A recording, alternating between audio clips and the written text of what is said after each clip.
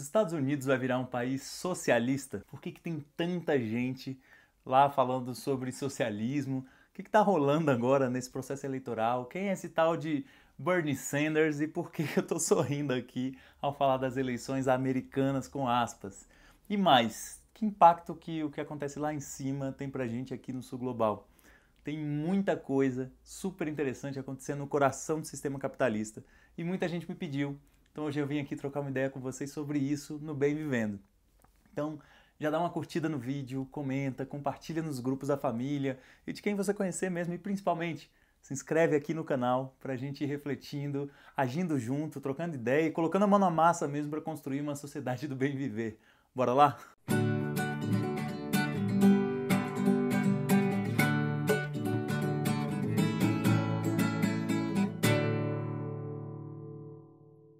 Recentemente, eu fiz junto com o Rafael Lopes uma sequência de stories lá no Instagram que buscava contextualizar o que está acontecendo nos Estados Unidos, que eu vou colocar o link aqui, se você quiser se animar de entrar em algum lugar, vou colocar na descrição, né? Porque aí esse vídeo vai ser rápido, vai ser sem edição. Então, nesse material lá, você vai ter um apanhado histórico mesmo dessa região. E eu sempre digo que eu nunca faço um vídeo que não tenha um resgate histórico, ou que não termine com um chamado para ação, só que dessa vez eu prometi que não ia detalhar tanto. Então vou falar em um minutinho só sobre isso, mas vai dar certo. Vou só passar mesmo para não ser reprovado no padrão Sabrina de vídeos curtos, né?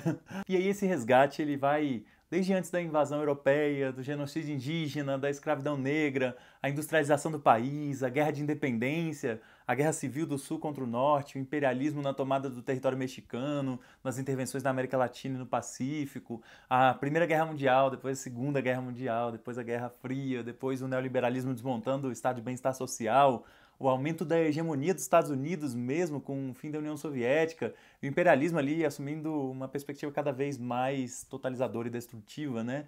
E depois vem as crises generalizadas do sistema, a precarização, intensificação do trabalho, a deterioração do nível de vida da população média dos Estados Unidos, aí dispara a pobreza, desigualdades, enfim, um bocado de coisa lá vocês veem que a pessoa sofre aqui só de ter que passar tão rápido por uma história dessa, né? Então a história é tão importante, fico pensando o que, que o Howardzinho ia pensar de mim vendo esse resumão aí tão rápido, né?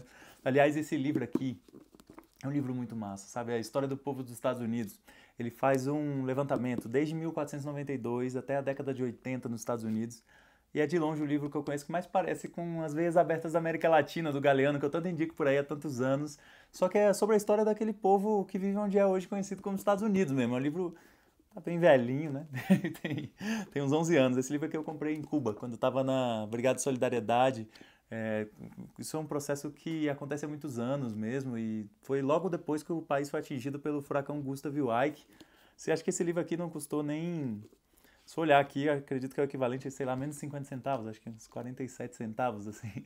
E é um resgate histórico também, tanto daqui quanto lá dos stories no Instagram, que fala da crise econômica mundial que se abre em 2008, depois dos mandatos do Obama, e quando terminam os mandatos do Obama numa perspectiva que não conseguiu transformar de forma consistente a vida do povo trabalhador nos Estados Unidos, e acaba abrindo uma brecha para figuras lamentáveis como é o atual ocupante da cadeira presidencial, que é o Donald Trump, ou em outros países também, figuras lamentáveis como a do Brasil aqui, pessoas são eleitas nessa ideia, nesse discurso falso de ser contra o sistema, contra tudo que está aí, se dizendo de fora da nova política, mas no fundo são a mais velha política que tem, que é a política de representar os interesses do andar de cima, do 0,01% mais ricos, enfim. Só que ele e outras pessoas desses fenômenos da extrema direita no mundo, né, eles se alavancam com uma aliança muito poderosa com o fundamentalismo religioso, com setores que mobilizam a política de ódio ali contra LGBTs, imigrantes, mulheres, negros, enfim, uma lista que vai longe aí na política de ódio, né? E que ganham muita força quando eles se conectam com essa rede internacional de sequestro de informações online em Big Data, né? para viabilizar uma rede de disparo de fake news para hackear eleições mesmo em favor deles, das políticas dele de tirada de direito do povo, de autoritarismo, de enriquecimento das elites mesmo, enfim. Mais velha política que existe. Só que o problema é que parte do motivo deles conseguirem fazer isso é que a oposição a eles é muitas vezes uma oposição muito dócil, muito acostumada com o sistema, cheia de rabo preso, com os podres poderes também, sem conseguir apresentar uma solução que realmente vá na raiz ali dos problemas do povo, sabe?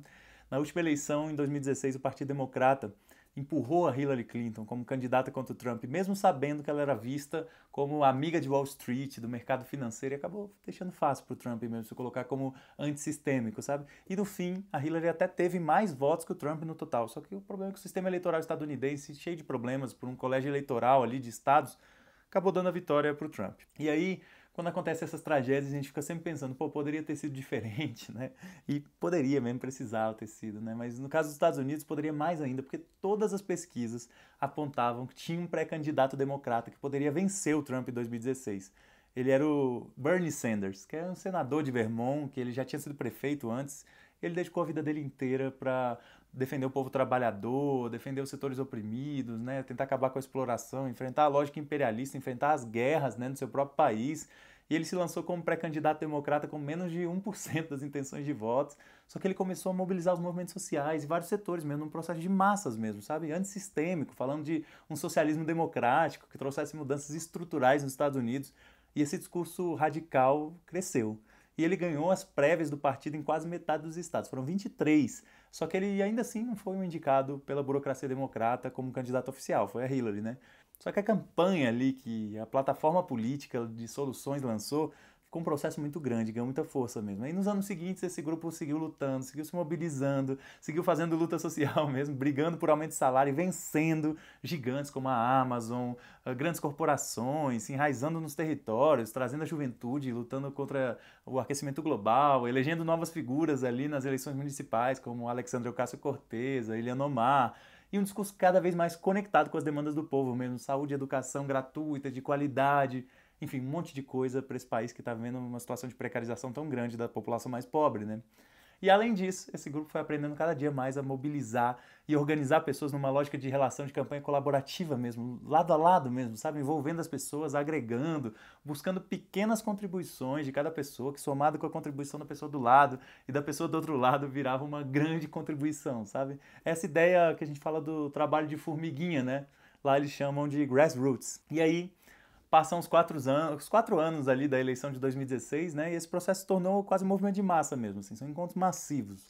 Milhões de pessoas fazendo doações ali, pequenas de 18 dólares por doação, só que somadas dão mais do que o que os bilionários estão doando para o Trump ou doando para outros pré-candidatos democratas ali do sistema, né, da direita. E são milhares de pessoas pegando uma jornada ali pelo país, batendo de porta em porta, ligando para as pessoas, mandando mensagem de texto, que lá não é tanto WhatsApp, né? Fazendo rodas de conversa, rodas de debate, mostrando para o mundo mesmo o que é uma campanha verdadeiramente militante, sabe? Hoje, já com as prévias dos democratas já concluídos os dois primeiros estados, né? Que é Iowa e New Hampshire, e duas vitórias do Bernie por voto popular, e com milhares de votos de diferença, por mais que o sistema lá engessado acabe equilibrando a quantidade de delegados com os candidatos da direita democrata também, mas a gente já vê o sistema bem incomodado, bem assustado com o crescimento mesmo. As pesquisas seguem dizendo que o Bernie é o único candidato que consegue vencer o Trump nessas eleições. Também dizem que ele vai ter muito mais votos que qualquer outro candidato nas prévias democratas, e isso vai até a convenção mesmo do partido, que é de 13 a 16 de julho mesmo. Isso tem gerado uma onda de ataques tanto do Trump como do sistema financeiro, da indústria farmacêutica, do complexo industrial militar, do complexo industrial prisional, das grandes corporações, das mais variadas áreas, da saúde mercantilizada, das outras corporações ali.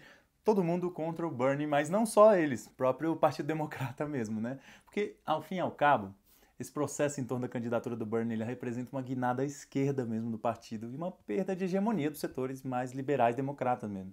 Seria no mínimo, uma ingenuidade a gente pensar que esses setores topariam abrir mão da sua hegemonia só para não perder uma eleição. Em 2016 eles já mostraram que não estão dispostos a fazer isso, então a tendência é que agora aconteça a mesma coisa. E, e pode ser que mesmo com uma vitória popular nas prévias, existe a chance de que a campanha movimento em torno do Bernie ali, tão conectada às lutas e aos movimentos sociais nos Estados Unidos, acabe não sendo indicada e coloquem algum dos nomes lá do sistema mesmo, mesmo sabendo que eles devem perder para o Trump. E o método das prévias democratas não ajudam nada ali, o método de aferição mesmo, né? São dois tipos diferentes, porque tem o caucus e tem as primárias. Sendo que o caucus é organizado pelo partido mesmo, são meio que congressos de votação pública ali, e as primárias são votações organizadas pelo Estado mesmo, com cédula, com cabine de votação mesmo. Ambas têm muitos problemas, muitas denúncias de fraudes, tanto digitais como físicas ali, então é um processo que é tudo menos transparente, só que o Bernie tende a vencer por voto popular. Só que aí, de todo jeito, vale a pena a gente alinhar expectativas sobre o que é o próprio Bernie mesmo, né? Ele não é nenhum ecossocialista revolucionário do bem viver, não. Ele sempre teve uma pegada mais social-democrata mesmo, de fazer reformas para melhorar o sistema e nem tanto uma revolução. Só que esse processo de despessoalizar e trazer a luta de massas para a construção desse processo político aqui, ele tem melhorado cada vez mais ele, trazido mais radicalidade ao Bernie mesmo, assim. A gente já vê ele falando, por exemplo, em transferir parte da propriedade das grandes corporações para os seus trabalhadores, ou forma de controle popular sobre a produção nos Estados Unidos a descarbonização do país com o Green New Deal, né, para lidar com o aquecimento global, empregos verdes, né, fala da liberdade dos povos em movimento, né, no sentido migratório também, fala do fim das opressões, e, pô, fala muita, muita coisa inspiradora mesmo, que é o que acontece quando a coletividade das pessoas que estão na ponta das contradições do sistema se estimulam, se empoderam para ir atrás dos seus direitos e construir uma nova sociedade mesmo, né? Hoje, as chamadas da campanha já falam de uma revolução política para derrubar os 0,01%. Isso é bem interessante, é bem importante, sabe? A gente ainda não está falando de uma revolução ecossocialista nos Estados Unidos, mas sem dúvida é um processo que gera uma politização na sociedade, mobiliza setores sociais, promove consciência nas pessoas mesmo, que não dá para descartar que uma vitória eleitoral do Bernie poderia iniciar um processo e que depois, a partir da mobilização social aí já fora da institucionalidade, possa sim levar para uma ruptura e para uma revolução verdadeira naquele país, porque no fundo não é a eleição quem promove isso. As revoluções são obras dos povos, quando eles resolvem refazer a sociedade à sua maneira, né? Só que ter um governo que promove a mobilização, promove a conscientização, a radicalidade das demandas sociais pode ajudar nisso. Essa é inclusive a hipótese da chamada via chilena, né? Que se a gente mergulha em teoria revolucionária, a gente vai ver duas grandes formas de fazer uma revolução que foram apresentadas no século passado, né? A gente vê a greve geral insurrecional, como foi na Rússia 103 anos atrás, ou a guerra popular prolongada, como no caso da China, e a via chilena até hoje ela não funcionou, porque no próprio Chile mesmo, a intervenção dos Estados Unidos lá promoveu um golpe de Estado com Pinochet, né, que bombardeou o Palácio Presidencial, assassinou o presidente Salvador Allende. Isso foi lá em 11 de setembro de 1973. E aí não dá para descartar que os 0,01% usariam de toda a força deles para impedir qualquer processo de mudança no coração do sistema capitalista. Então, só ganhar uma eleição nunca vai ser suficiente. Numa eleição você ganha um governo. Fazer uma revolução e tomar o poder é uma coisa totalmente diferente. Agora imagina o impacto que pode ter no mundo se um presidente da principal potência militar resolve abandonar a política imperialista, impositiva e destrutiva e assumir uma agenda de transformações sociais, de passos rumo a uma transição ecológica e fortalecimento dos movimentos sociais, sabe? Imagina o efeito que isso teria na situação do Brasil sem que a família miliciana ali pudesse contar com o apoio dos Estados Unidos para essa política de terra devastada deles. Que acontece com os nossos irmãos e irmãs ali do norte afeta diretamente a nossa vida. Então é importante a gente pensar o que, a gente pode fazer a respeito.